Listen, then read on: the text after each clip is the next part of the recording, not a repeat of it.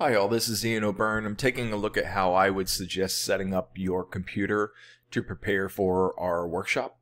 Uh, this is with one screen setup. This is a 24 inch screen um, and just one laptop screen. In the photos that I shared with this material, with this video, I suggest that you set up one screen and have some paper to the side so you can take offline notes. I would also suggest that in addition to one screen, you have a tablet screen next to you or your cell phone or both if possible. Uh, obviously, not everybody has access to all different types of technologies, but if you only have one screen, here's how I would suggest working with it. So one of the first things that we're going to do is uh, we're going to realize that we're going to be working in Hopin uh, for most of our meetings and workshops and everything else. Uh, you should also have Canvas open, and so you're logged into Canvas.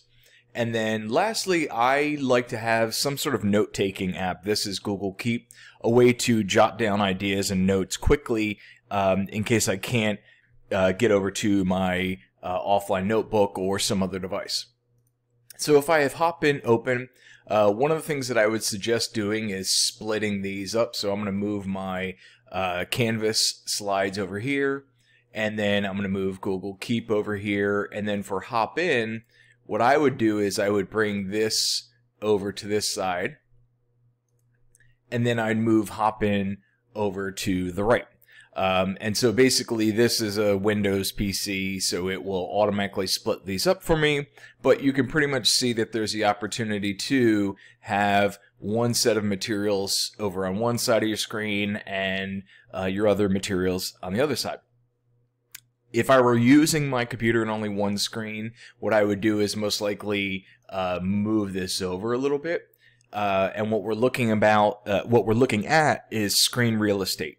And what I want to spend most of my uh, focus, most of my attention on, as opposed to letting it decide for me.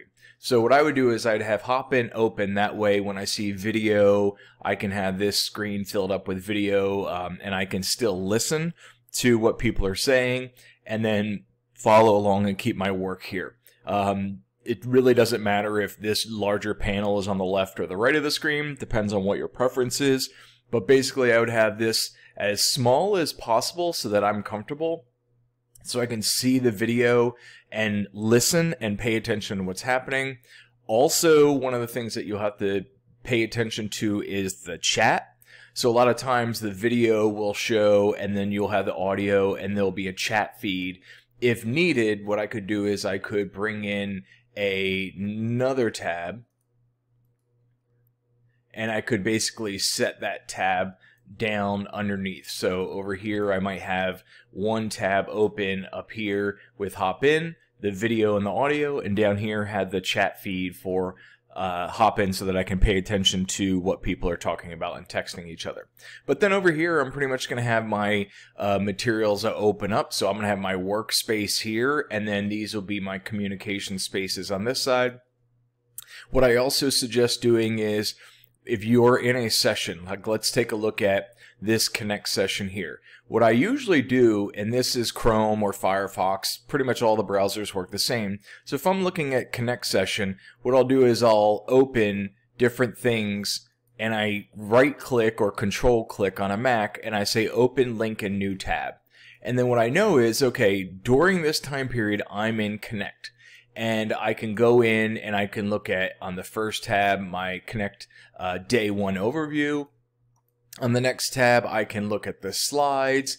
And then lastly, I can look at the task for Connect. So right now, in two, three clicks, I have pretty much everything that I need to attend to uh, without searching through multiple browsers, multiple tabs. Um, this makes it a little bit easier for me to pay attention. That way I know, okay, I'm focused on Connect. I'm in these different spaces. And then when I'm moving from Connect to Create, I can close these out once I know I'm done with them, and I can go to create and replicate the whole system. Um, I can go in and open up new tabs, open up discussion threads, stuff like that. Um, one last point, what's really helpful for me is if you're in something like code, so let's get rid of these. If I'm in code, you really want a lot of um, workspace to work in something like Snap. So the nice thing would be you could pay attention to the tutorial or the synchronous meeting for code here. You might be able to listen to the chat. I mean, pay attention to the chat here. So you're watching and listening. You're uh, paying attention to the text. But then your workspace for Snap you could have in this large panel. Also, also what you could do is you could take this slide deck and move the slide deck over here in this workspace and do your snap activities here. Depends on what works best for you. But if you have one screen, one screen only, I would suggest trying to break that screen up into three parts and thinking of a workspace and like review spaces or content spaces and trying to get this moved over as much as possible so you can have a lot of workspace here. By all means, this is not the best case scenario, but with one screen, it might be your only bet. So hopefully that helps you out. Let me know how you have your workspace set up.